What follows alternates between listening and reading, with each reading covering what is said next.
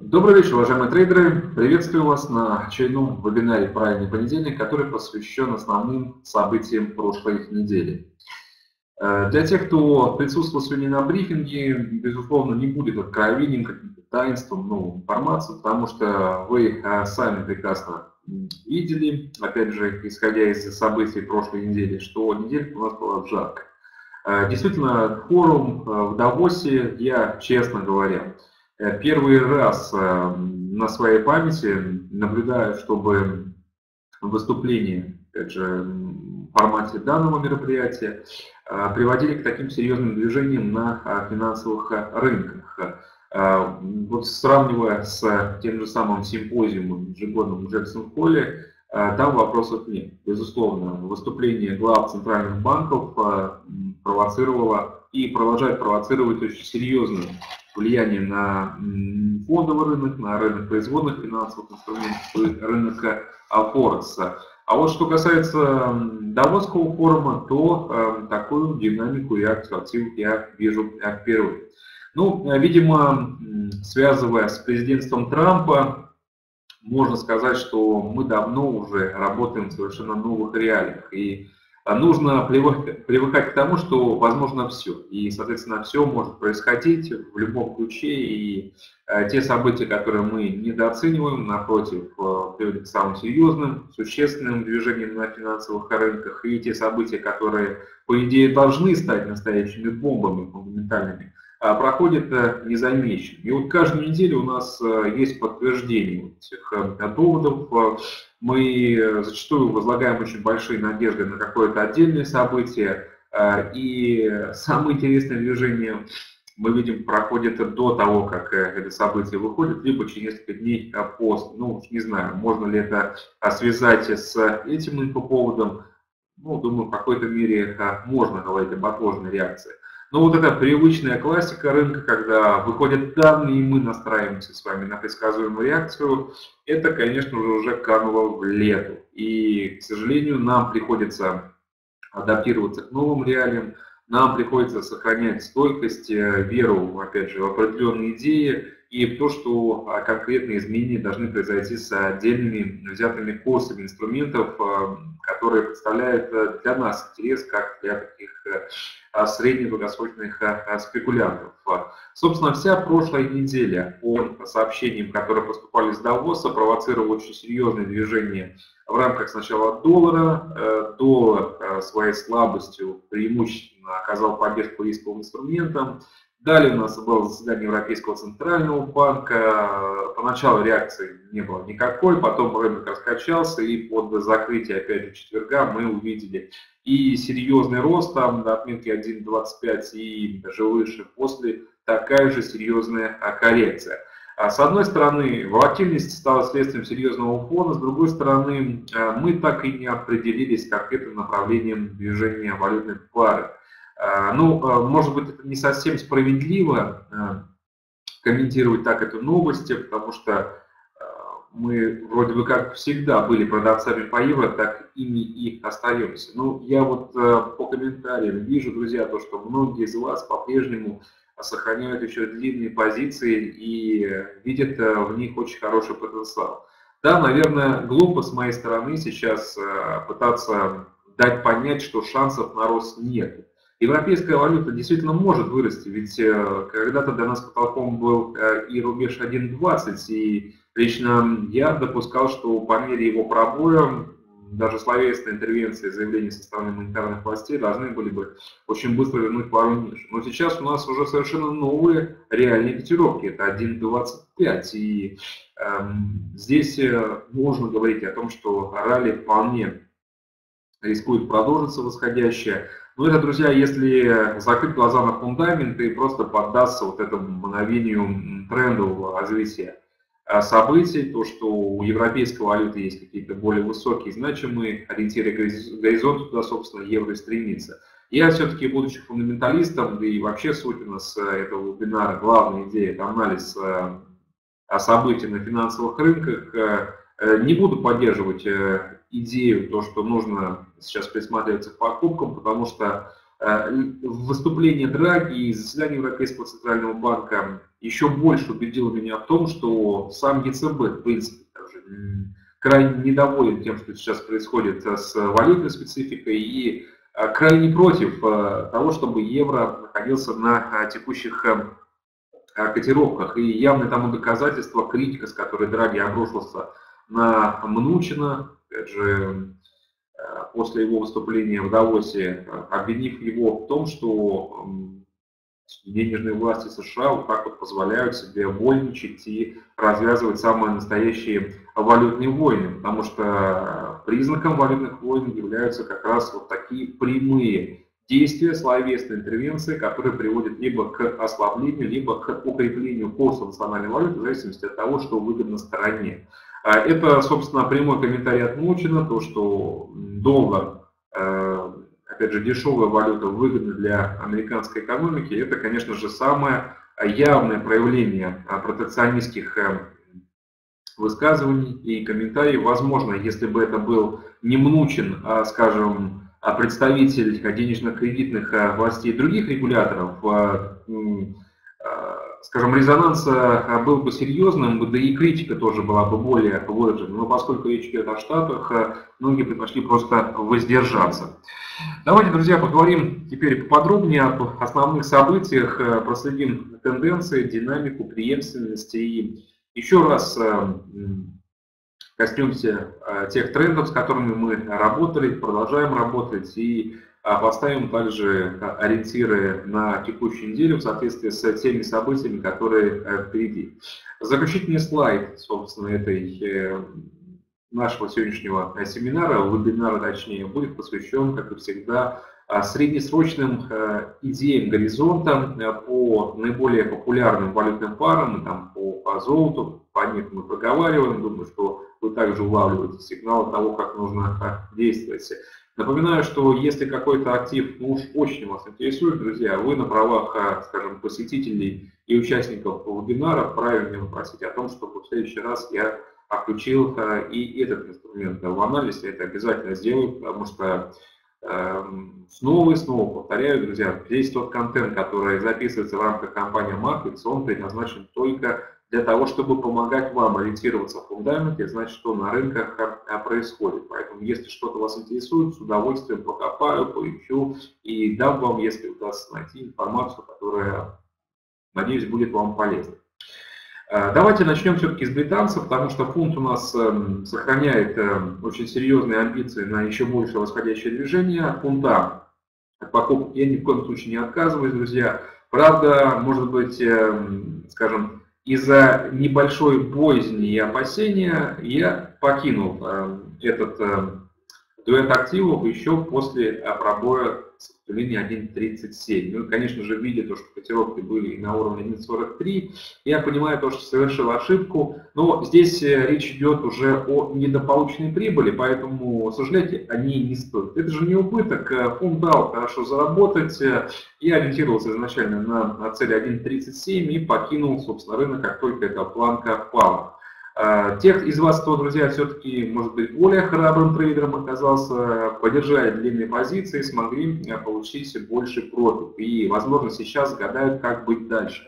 Если становится боязно, вот, к примеру, как мне на отметке 1.37, друзья, я могу порекомендовать вам зафиксировать большую часть, ну или, по крайней мере, половину вашей позиции, ну и, разумеется, оставшуюся половину оставить уже в э, длинных э, ориентирах, есть в длинных позах, а с ожиданиями того, что по на 47. Я а, буду крайне, скажем, рад, вы а, получите еще больше профит и тому, что фунт для вас принесет там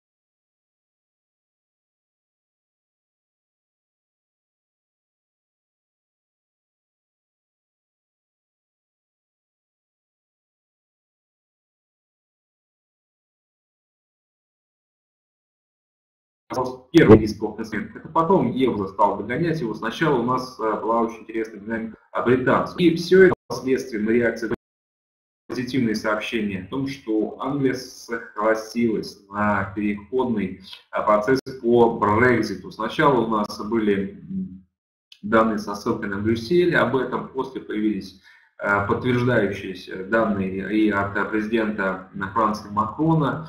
Э, что касается переходного периода, я думаю, что вы знаете, о чем идет речь, я об этом рассказывал, то, что сохраняется доступ к единому европейскому рынку, ну, разумеется, на определенные уступки, это не просто так.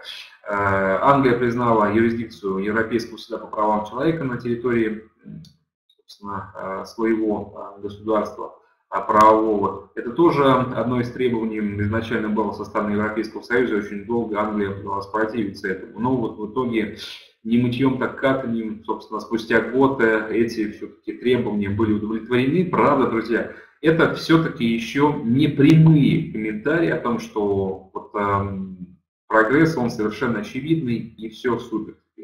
Это более-менее подтвержденный, а, подтвержденная информация, но все-таки новый процесс а, и очередной этап переговоров по Брекзиту еще не начался. Я полагал, то, что он должен был э, начаться уже в конце прошлой недели, но пока у нас информации нет. Но я надеюсь, друзья, то, что позитив официально тоже будет обозначен и, скорее всего, произойдет это действительно уже в ближайшие дни.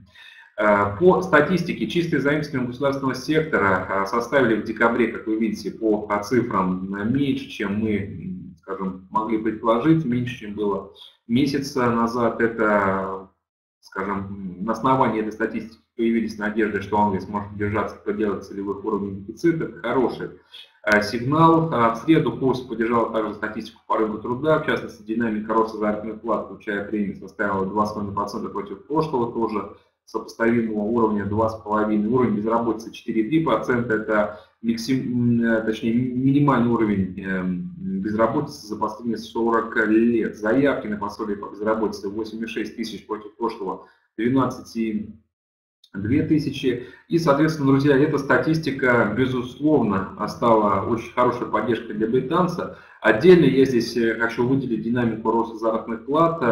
По идее, 2,5% это хороший э, уровень, эм, и раз э, речь идет о сильных цифрах, значит это э, причины, за которые фунт мог расти, потому что это фундаментально позитивные данные.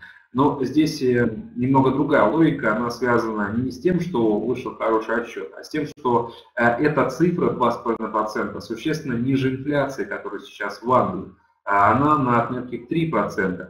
И здесь э, вот это расхождение, оно явно а, приводит к тому, что снижается уровень располагаемого, точнее, уровень располагаемого дохода растет гораздо меньшими темпами. Инфляция обесценивает э, весь этот прирост, и, соответственно, в конечном счете сказывается на активности потребителей и более э, скромных э, показателях экономического роста. Вот, кстати, на прошлой неделе, в пятницу, у нас была опубликована статистика по ВВП Англии. Э, может быть, в квартальном выражении хорошие цифры, но в годовом я чуть позже вернусь к этому отчету. Статистика не самая лучшая. Это минимальное значение за последние несколько лет, и его очень сильный контраст с э, прочими развитыми рынками, которые показывают эм, по годовым эм, ВВП э, расширение свыше там, 2,3%. По Англии сейчас 1,9%. Это ниже, чем, э, возможно, был бы показатель в Англии, если бы дело не дошло до Брекзита. Ну и все-таки не будем возвращаться к прежним доводом, домыслом, что было бы, если бы мы работаем с реальностью, то, что Англия теперь вне Европейского Союза, а, и понимаем, что эта статистика, наверное, соответствует э, вот этой изменившейся конъюнктуре, и эта статистика помогает нам зарабатывать, друзья, потому что мы делаем ставку на то, что Англия будет постепенно восстанавливаться, даже будучи самостоятельным и независимым государством, и пытаемся найти аргументы для вот этих длинных э, позиций, для э, сделок э, плюс, лонг в прогрессе по Брекзиту и, собственно, вот в этих релизах, которые я сейчас для вас проанализировал. Из европейской статистики отчетов было не так уж и много. До четверга, в четверг, вы помните, у нас заседание Европейского центрального банка. Ну, пару отчетов все-таки я считаю, мы не должны сейчас э, пройти стороной. Это статистика по уровню доверия потребителей. Очень хороший э, показатель 1,3 против прошлого 0,5, максимум с 2000 года. Собственно, также еще был отчет индекса настроения деловой среды института ЗЮ 24 против прошлого 17,4. Это максимум с 91 года. Вот такие вот исторические у нас параллели проводятся. Это, безусловно, статистика, на которой можно расти. Поэтому Вполне возможно, что европейская валюта, оказавшаяся крайне высоко за последние недели, попробовала выжить по максимуму из позитивного фундамента, который эм, имел место быть, и на этих данных также немного выросла. А, собственно, говоря про конкретные уровни, у нас еще в среду до а, заседания Европейского центрального банка мы видели, как евро а после существенного роста добрался, в принципе, до уровня 1.2355, а на протоколах Европейского Центрального Банка, точнее на заседании Европейского Центрального Банка решение по ставкам и пресс-конференции, евро забрался даже еще выше. А вот американская валюта, к сожалению, была в числе аутсайдеров. И это при том, что Конгресс США проголосовал за законопроект по продлению финансирования госучреждений возобновления работы правительства. Я искренне надеялся на то, что после шатдауна, который случился в минувшие выходные, ну точнее, можно сказать, даже в пятницу, в понедельник, соответственно, мы должны были видеть э, после позитивных новостей, что доллар э, отрастает и восстанавливается против основных конкурентов. Но, к сожалению, друзья, этого не произошло еще раз э, немного.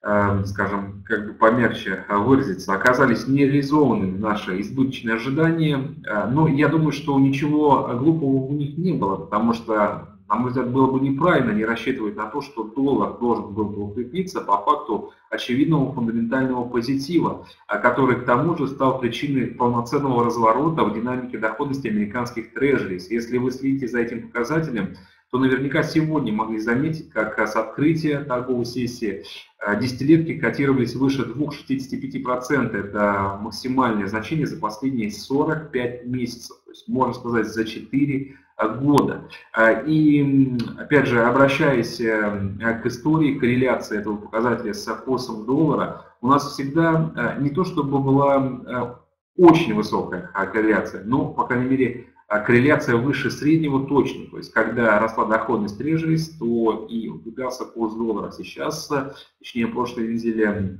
это все-таки только началось, не будем каркать, возможно, баланс восстановится, но прошлой неделе а, была в этом плане абсолютно раскоррелирована. У нас а, доходности подрастали, при этом доллар неуклонно шел вниз. И, на мой взгляд, это явное доказательство того, что на рынке Форекс в отношении доллара сейчас происходит что-то странное, крайне неправильное, и, как и всему неправильному, этому тоже должен прийти конец.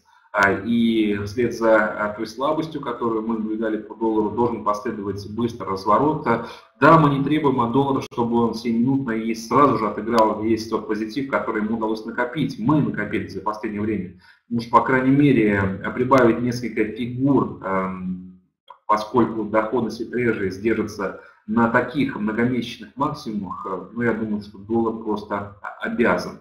Из других событий э, стоит отметить заседание Банка Японии, который утром во вторник э, принял решение сохранить основные параметры японской денежно-кредитной политики без изменений. Собственно, ставка на прежнем уровне минус 0,1%. Если говорить про объем программы количественного смягчения, это 80 триллионов йен в год, тоже все без изменений. А, и эм, поскольку рынок под это заседание закладывался э, с оппозицией того, что Банк Японии должен был подтвердить готовность отказаться от э, экономических стимулов, э, эм, я рассчитывал на то, что, эм, скажем, разочарование трейдеров в этом, в том случае, если Банк Японии сообщит о том, что он не собирается отказываться от мягкой экономической политики и, соответственно, обломает, условно говоря, эм, быков. Эм, это должно было э, привести к ослаблению курса японской валюты и простимулировать рост доллара. Но даже на этом фундаменте, друзья, мы не увидели логичной реакции. После того, как э, Банк Японии подтвердил важную жизненную важность как раз сохранения вот этой мягкой экономической политики, собственно, как это сделал и Европейский центральный банк. У нас японская валюта даже окрепла, ну это прям совсем парадокс и нонсенс. Нефть во вторник снова тестировала максимумы 70 долларов за баррель. В принципе, можно сказать, что не ушли мы от этого уровня. Даже сейчас, э, фактически, когда началась новая неделя. А поддержку на прошлой э, нефти оказывали сообщения министра нефти Саудовской Аравии Халида Аль-Палиха, который высказался о солидарном едином решении э, участников аналитического пакта и дальше предпринимать всевозможные совместные усилия для того, чтобы поддерживать рынок черного золота. И особенно нужно будет сохранить вот эту солидарную единую позицию совместных действий после того, как истечет период э, действия соглашения по снижению добычи. Напомню, что произойдет это лишь в конце этого э, года. А, статистика по запасам. Сначала у нас Американский институт нефти, собственно, плюс 4,7 миллиона э, запасы за прошлую неделю выросли против прошлого спада на 5,1.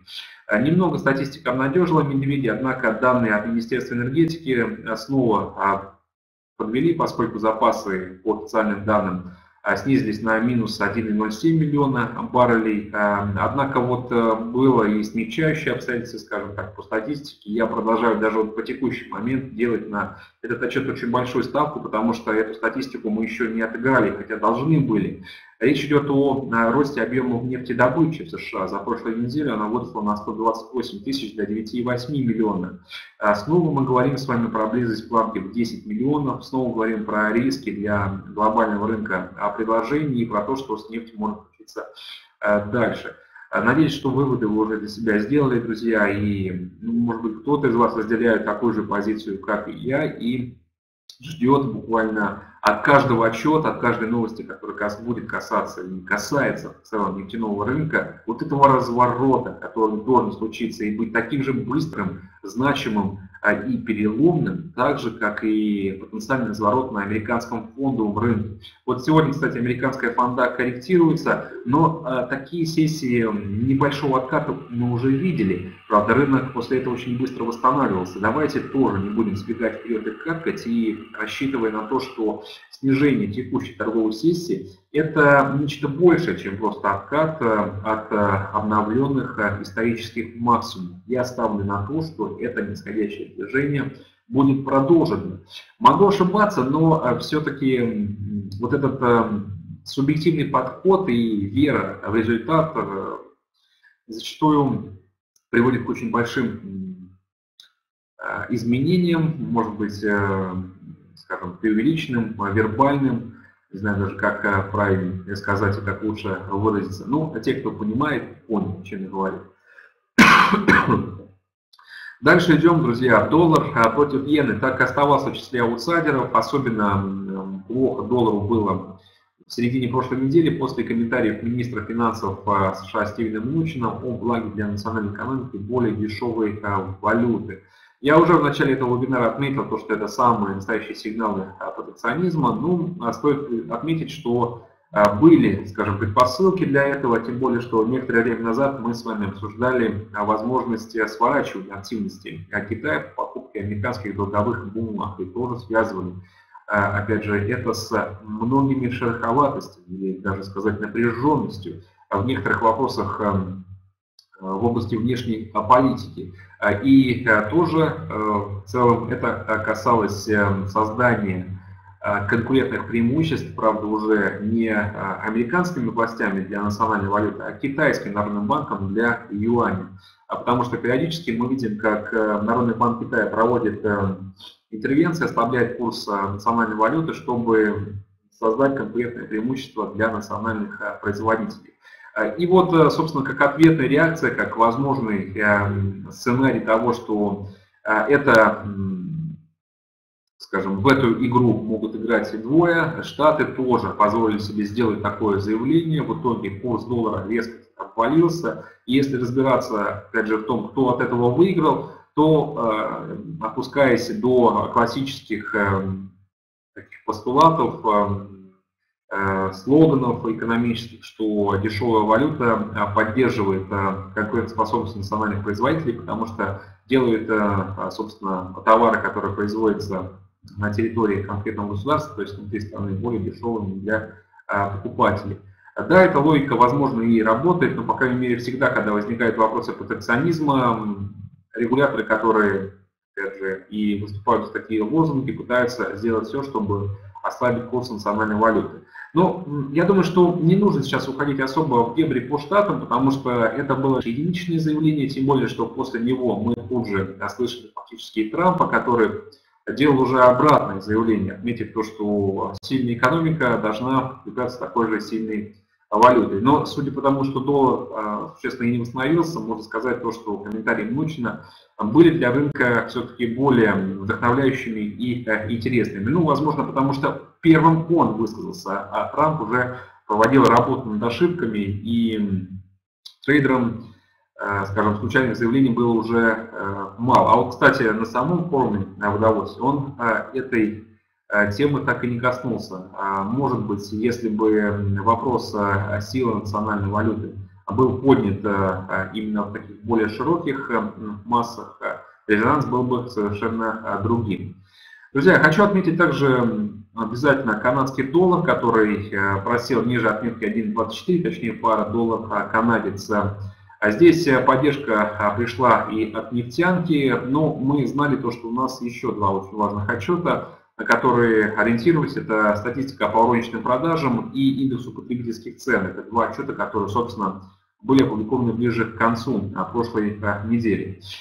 Прежде чем перейти к, собственно, заседании Европейского центрального банка хочу еще отметить отчет по инфляции в Новой Зеландии, поскольку наверняка кто-то из вас торгует и этим инструментом, кто-то, может быть, находится в долгосрочных сделках и, скажем, нуждается в обновленном новостном фоне, чтобы э, понять, как действовать дальше. Я хочу обрадовать тех, кто продает новозеландцев, потому что, исходя из тех отчетов, которые мы с вами проанализировали на прошлой неделе, Инфляция снова просела, друзья, и оказалась существенно ниже, чем годовая оценка за прошлый период. Собственно, 1,6 1,9, соответственно, тут же обращаем внимание на комментарий Резервного банка Новой Зеландии, который отметил, что на фоне столь низкой инфляции, которая ниже цели в 2%, нет э, никаких, э, никакой срочности для того, чтобы Резервный банк Новой Зеландии Э, тоже стал поддерживать идею необходимости ужесточения монетарной политики. То есть у нас сейчас несколько регуляторов, которые держатся особняком, и, наверное, ключевые позиции принадлежат как раз Резервному банку Австралии и Резервному банку Новой Зеландии, которые по-прежнему сопротивляются и не хотят изменять прежним таким устоям, которые сложились в рамках регуляторов. То есть пока не будет достигнута цели по инфляции, соответственно, и не будет необходимости что-то вносить в плане корректировок в монетарную политику, и уж тем более отказываться от довольно продолжительного периода низких процентных ставок. Вот на этой ноте я предлагаю перейти к Европейскому центральному банку, уже тому, что мы слышали от ЕЦБ и от Драги. Э, но специально я провел такую параллель, потому что Европейский центральный банк – это, по сути, третий регулятор после Резервного банка Австралии и Резервного банка Новой Зеландии, который сохраняет э, вот эту единую позицию важности удержания ставок на крайне низких значениях и сохранения программы количественного смягчения. Ну, по ставкам, друзья, как вы помните, все без изменений, мы не настраивались на то, что что-то с ними может произойти. А вот э, что касается выступление Драги, то оно, в принципе, было тоже в соответствии с нашими ожиданиями.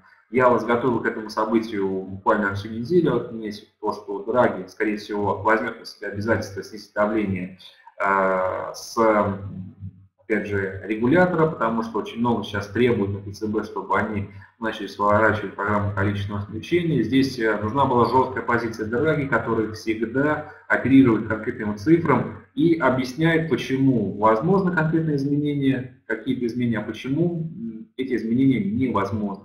И в данном случае Драги э, повторил то, что на рынке сейчас созданы условия, при которых э, нет даже сигналов на формирование устойчивого эм, инфляционных э, высоких ожиданий э, и э, признаков роста инфляционного давления. Я напоминаю то, что последний отчет по индексу потребительских цен на годовом выражении указал на то, что инфляция находится на отметке 1,4%. Кстати, друзья, на этой неделе у нас обновленные цифры по этому индикатору, посмотрим за ними. Но я думаю, что особо никаких изменений не произойдет. В лучшем случае инфляция останется на прежних значениях. Э, в худшем случае инфляция снова просядет, пусть там на 0,1%. Э, и это, по сути, оправдает то, что было сказано Драги, и, возможно, расставит уже окончательно все точки над «и», э, и снизит интерес к евро, который продолжают покупать в расчете на то, что ЕЦБ начнет нормализовать денежную кредитную политику ближе к середине этого года. Я напоминаю, друзья, что все это инвесторские догадки, то, что произойдет с ЕЦБ, с ставками, ну, в плане ужесточения. А, эти догадки сейчас не нужно поддерживать, потому что Европейский центральный банк – это тот, кто а, и отвечает за политику, он а, не сомневается – он дал четкий ориентир, отметив, что ставки будут меняться только в том случае, если удастся выйти на цели по инфляции в 2%. И снова повторяю, друзья, что цели этих э, не видать как своих ушей. И я уверен, то, что в этом году существенно картина не изменится. Поэтому откажитесь от э, идеи покупки евро в расчете на то, что что-то произойдет с монетарной политикой. Э, что-то произойдет с монетарным курсом и уж точно не в сторону а, смягчения. Я считаю, что нужно поддерживать глубинную риторику и просто ждать, когда на рынке будут созданы дополнительные условия для ослабления евро. Этим дополнительным условием должна стать э, именно слабая американская валюта. Если бы сейчас доллар котировался против той же самой иены, к примеру, выше отметки там 113-114 йен а против доллара, я, возможно, бы еще и усомнился в том, не неправомерными ли будут, собственно, сейчас длинные позиции европейской валюты. Но поскольку я понимаю, что доллар сейчас находится на дне в прямом смысле, а именно только слабостью американца стоит оправдывать тот рост, который произошел. Но ни в коем случае не рыночными ожиданиями того, что ЕЦБ на пороге серьезных изменений монетарной политики. Поэтому по евро я как и рекомендовал, так и продолжаю это делать. Нужно искать э, возможности для коротких позиций, занимать эти селлы и, собственно, ловить евро гораздо ниже текущих значений. Если говорить, э, э, скажем, таким фундаментальным ориентиром по профиту, то таковым может быть планка как минимум 1.20, потому что это тот самый уровень нахождения евро, на котором не угрожает понижательным давлением на индекс потребительских цен. Поэтому в качестве ближайшего ориентира а, стоит ориентироваться на возвращение к планке 1.20. Да, кажется, что на него так много, учитывая, что евро обычно не совсем динамичный актив. А, но все-таки 400 пунктов – это потенциал эм, коррекции, который можно выжать. И вероятность того, что евро уйдет туда, гораздо, гораздо, гораздо, гораздо выше, чем а, в том случае, если евро будет расти. Поэтому, друзья, вам нужно принять решение для себя, как действовать э, по европейской валюте дальше. И я надеюсь, даже уверен, что многие из вас решение уже э, приняли.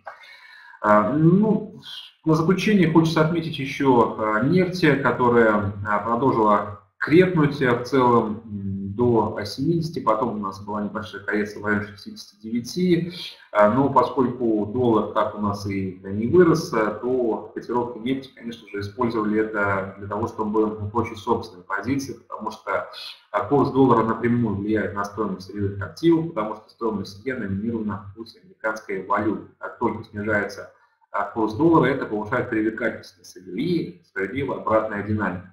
А как только доллар у нас начнет расти, друзья, мы увидим дополнительное давление на котировки нефти. А говорил еще по Канаде, у нас было два важных отчета, это розничные продажи.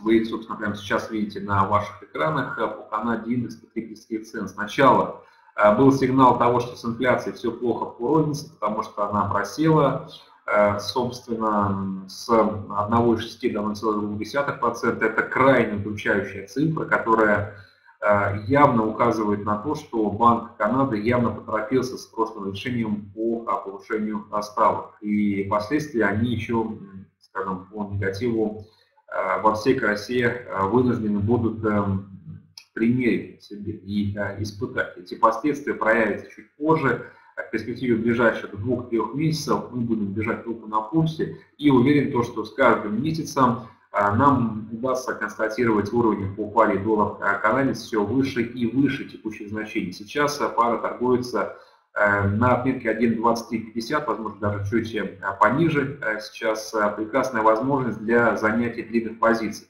Если по евро, по доллару японской иене, при всем желании, я, к сожалению, не могу обозначить наиболее привлекательных уровней для занятия позиции, но могу вас направить, как действовать, и, в принципе, я это уже сделал. То в отношении пары доллар-канадец здесь эм, уровни прослеживаются очень хорошо. В целом, где бы вы ни купили ниже планки 1.25, это будет э, очень хорошая выигрышная сделка, но вы понимаете, что на фоне коррекции, которая случилась, э, Э, депозит э, должен позволять выдерживать просадки, и вы должны работать с крайне небольшим ключом. То есть на одну сделку, чтобы э, ключевая загрузка у вас в рамках всего депо не превышала там 1 к 2, а совокупная по всем позициям не превышала 1 к 10. Ну, это такие классические правила из менеджмента. Думаю, вам, опытным трейдерам, объяснять их не нужно, вы знаете, что значит э, загрузка по депозиту и что это за объемы в соответствии с теми депозитами, которые вы э, на рынке используете.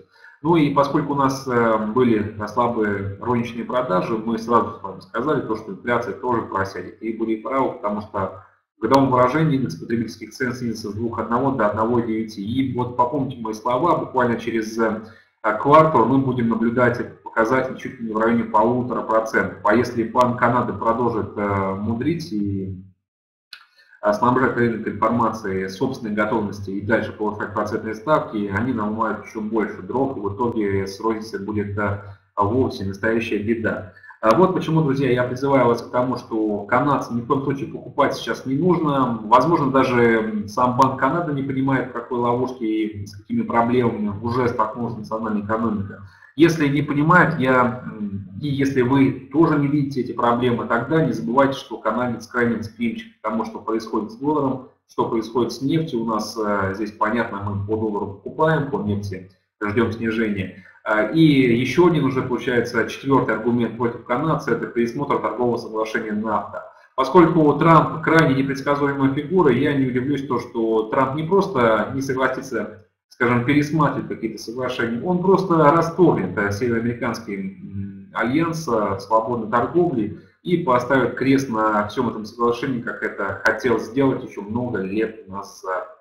А, поэтому доллар канадец – это прекрасная валютная пара, чтобы покупать, э, собственно, так же, как и по а, паре фунт-доллар, рассчитывая на рост еще больше, чем на полтысячи пунктов. Возможно, кто-то из вас уже находится в этих э, позициях.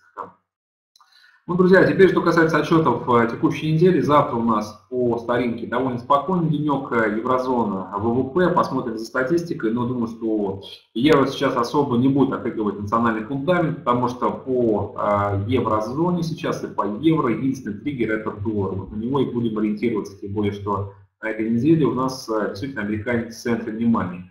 Э, события э, торговой сессии среды. Здесь особый акцент я предлагаю сделать на отчет ADP по уровню занятости в частном секторе. Собственно, это тот релиз, который предваряет Non-Farm Perils. Посмотрите на прогнозы ожидания, вы поймете, что стоит ставить на прогресс и позитив. Ждем хорошие цифры и ждем разворота по доллару. А, и если уж статистика не сможет справиться с этим, то решение ФРС по процентной ставке и последующая пресс-конференция точно сможет. Да.